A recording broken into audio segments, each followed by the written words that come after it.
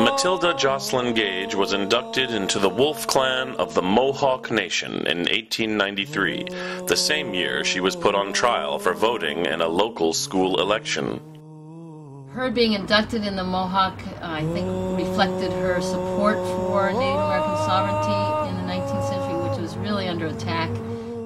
She realized uh, that women's status could be different just from looking at the fact that it was different among the Haudenosaunee. She was so impressed with the Haudenosaunee culture and the responsibility and authority that the women had as clan mothers.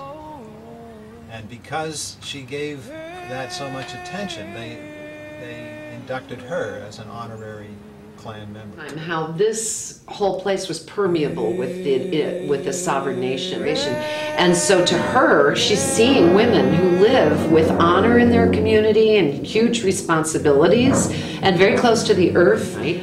You know, and she saw everything from that to the fact that they get to veto a declaration of war. I think it was enormous for her because it was one of those influences that we get where we we hardly even talk about it because it comes as a personal relationship. It might be with a parent or a child or a spouse or um, where someone so profoundly influences you that she wrote, of course, much about what the Iroquois, as she called them, in the paper.